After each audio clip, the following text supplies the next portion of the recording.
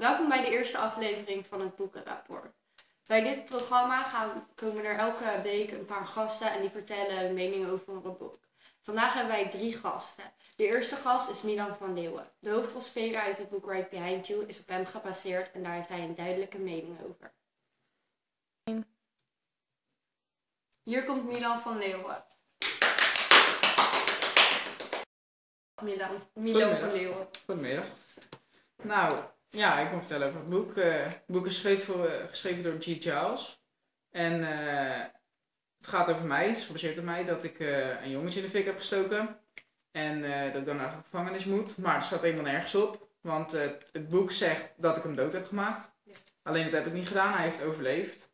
Eh, ehm, maar ze hebben het waarschijnlijk gewoon zo gemaakt zodat het beter verkoopt. Zodat het extra erg lijkt zo. En daar, ja, daar kan ik niet tegen. Ja. Het gaat er ook over dat ik in therapie moet en in de kindergevangenis en zo. En eh, dat ik daarna, ver- daarna verhuisd ben en zo. Ten eerste, ik ben helemaal niet verhuisd. Staat ook nergens op. Maar ja. Dan komen ze er weer achter van dat ik het heb gedaan en eh bla bla bla. Dus ja. En gewoon- je mening daarover? ja, het, is gewoon, het slaat nergens op, weet je. Ik had ook echt helemaal ruzie met, eh, met die G. Charles, omdat, om- omdat hij het heel anders had gemaakt dan het verhaal is. Ik zeg, ik wil mijn best mijn verhaal vertellen, maar eh, ja, dan moet je het wel gewoon echt zo maken als het is. Niet Ja. erger of zo, of ook niet minder erg. Gewoon zoals het is. Dankjewel. Ja, graag gedaan. Dat was onze eerste gast, Milan van Leeuwen. Nu gaan we naar onze tweede gast, Alma Sobanovic. Hallo. Goedemiddag. Hallo. Nou, ik wil je wat vertellen over het boek Junkies van Melvin Burgers. Het gaat over eh, een jonge meisje, Gemma en Teer. Het zijn natuurlijk niet echte naam, het zal een beetje raar. En ehm Teer wordt geslagen door zijn vader. En daardoor gaat hij weg uit huis. Maar Gemma mist hem, dus die gaat achter hem aan. En eh, op een gegeven moment eh, komen ze in een kraakpand terecht, gaan ze daar wonen. Maar er gebeuren allemaal erge dingen. Ze raken verslaafd aan drugs en zo. En, ehm, ja, en ehm, ja, en dan gebeurt iets heel ergs met Gemma. Maar ja, dat moeten jullie maar zelf lezen dan, hè. Dan ga ik jullie alles zeggen natuurlijk. En ja, dat is het. En eh, jouw mening over het boek? Ja, ik vond het erg leuk en eh, interessant. Omdat er veel dingen gebeuren. Ik vind het erg eh, leuk om te lezen. Ik hou helemaal niet van lezen, maar dit boek vond ik interessant. Daar wil ik elke keer doorlezen. En ja, het is ook best wel aangrijpend. Best wel erg wat er allemaal gebeurt. Ja. Dus ja, je wordt er niet echt vrolijk van. Maar ja, ik vond het wel heel interessant. Ik vond het een leuk boek. Oké. Geef je het boek nog een, een cijfer? Mm, een 8. Want eh, ik vond hem heel leuk. Ik zou ook wel zeker andere mensen aanraden. Maar ik heb zeg maar nog niet een 10 of een 9, want het is niet echt geweldig. Ik vind hem leuk, maar niet geweldig. Oké. Nou, dankjewel. Alsjeblieft. Fijne dag. Derde gast, Lieke van der Meer. Goedemiddag. Goedemiddag. Nou, ik heb een boek gelezen, Straks wordt geen pijn meer, van Dirk Braken.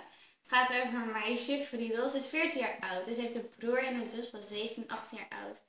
Eh, ze wonen alle drie bij hun moeder. Maar omdat hun ouders gescheiden zijn, gaat ze elk weekend naar de vader toe.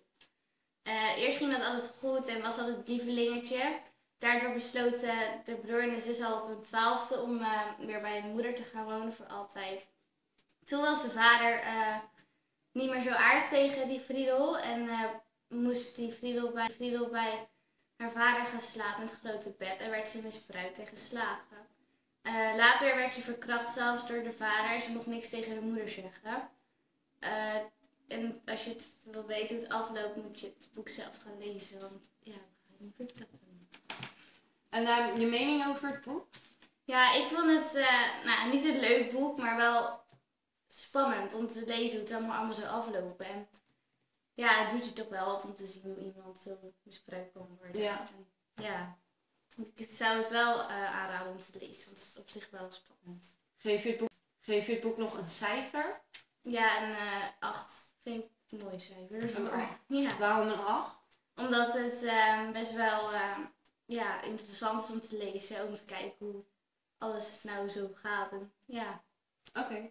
Dankjewel. alsjeblieft. Heb eh, ook een boek gelezen met een soort eh, onderwerp als het boek dat Lieke van der Meer heeft gelezen. Eh, mijn boek heet Verdoofd van Elle van den Boogaard. Het gaat over een meisje van 16 jaar en iedereen heeft het al over seks en doet het al. Maar zij is er eigenlijk helemaal niet mee bezig. En op een avond wordt zij gevraagd om te komen naar een feest van een jongen die zij heel leuk vindt. Maar daar is GHB in haar drankje gedaan zonder dat zij het weet. Ehm, uiteindelijk is zij daardoor buiten bewustzijn geraakt en een jongen heeft haar toen misbruikt. Volgende ochtend werd zij wakker en had pijn in haar buik en van alles en nog wat. En als jij wil weten hoe het afloopt met die jongen, moet je zelf het boek lezen. Ik vond het boek wel interessant om te lezen, want ja, ehm, zo'n onderwerp spreekt me wel aan. Verder wil ik eigenlijk gewoon nooit een boek lezen of zo, want deze vind ik sowieso niet zo boeiend.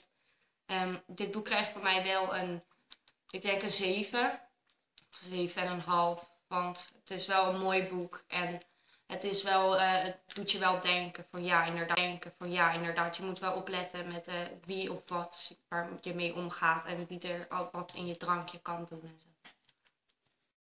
Leuk dat jullie hebben gekeken naar het programma Het Boekenrapport. Ik zie jullie volgende week weer op dezelfde tijd en op hetzelfde zender. Doei! Dag!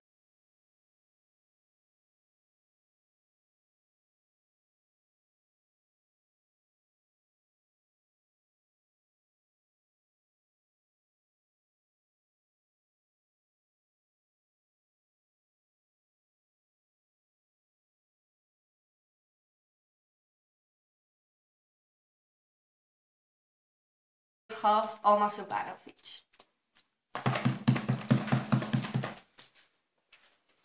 Goedemiddag. Hallo. Nou, ik wil wat vertellen over het boek Junkies van eh, Melvin Burgers. ik heb je wel. Dat was onze eerste gast, Nina van. Een boek die op zichzelf gebaseerd is. Goedemiddag. Goedemiddag. Jezus. Hier komt Milan van Leeuwen en hij vertelt wat over het boek die op zichzelf gemaakt